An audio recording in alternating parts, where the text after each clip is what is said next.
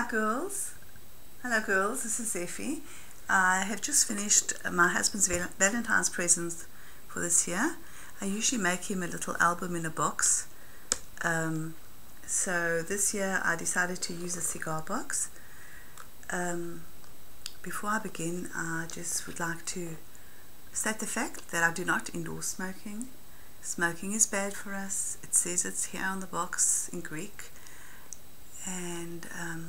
for the girls that smoke in front of their children and that allow other people to smoke in front of their children, I just want to state that secondary smoke is even worse than um, primary smoke.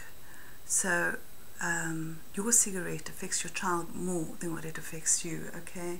So please, please, especially in Greece, let's get, kick the habit. It's so, so bad for us. Okay, so after my little lecture, let me begin with a box. Even though I say smoking is bad for us, my husband unfortunately still enjoys a good cigar.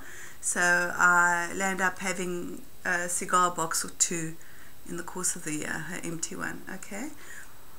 I've cut this little heart out of grunge paper for the side here and I'll explain to you why it's here. I've done nothing to the box except for um, this sticker on the back here I actually can't remember what um, range. It was a die cut packet. I can't remember who had it. It was in my stash. And it has a song on that says, You're my sunshine, my only sunshine.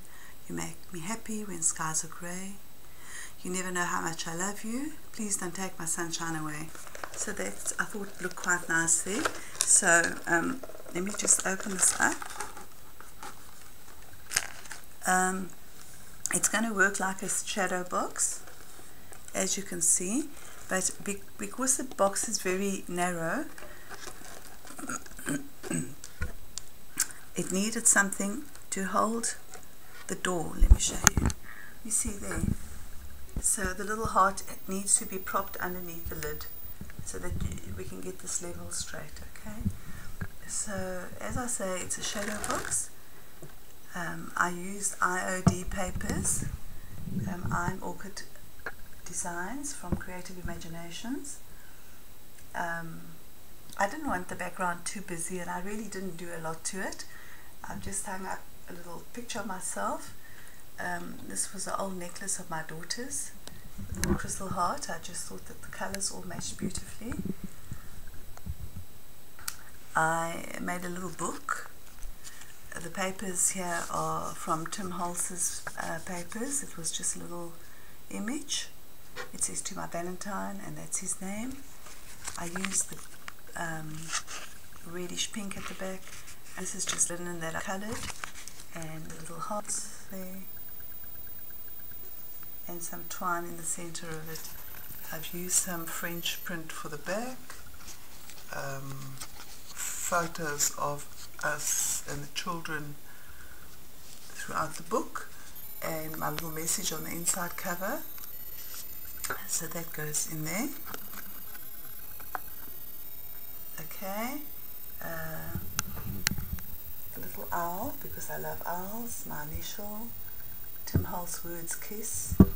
This little collage here at the back is a bottle top with um, tire weight. That's a tire weight and a little valve my husband is in the tire industry. He runs a company in South Africa. And I thought um, those little findings were good because that's why he's there.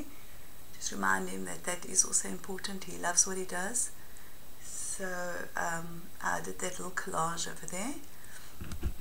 And at the bottom I just added some roses with a little bit of film strip from Tim Holtz and a little feather.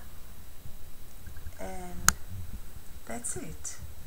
I hope you enjoyed it. I hope I inspired you. You still have some days to get your Valentine project in order. And girls, I know we all scrap maniacs, but let's not forget our darlings. They are also very important. Bye. Lots of love.